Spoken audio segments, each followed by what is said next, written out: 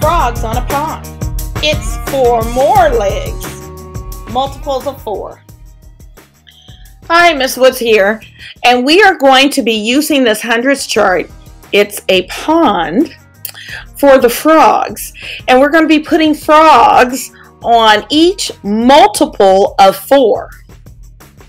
So here are your frogs, and you're just going to move them to the multiples of 4 and just cover the multiples of 4 up.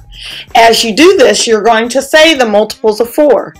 4, 8, 12, and if you forget a multiple of 4, just count 4 more. 1, 2, 3, 4, 16. Then count 1, 2, 3, 4, 20. Then from 20, count four more. 1, 2, 3, 4, 24.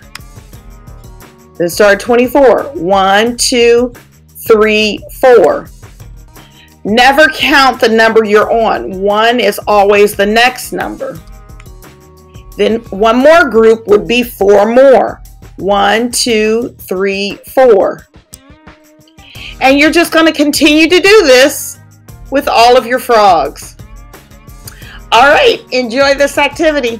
If skip counting by four, when we add one group, we add how many more?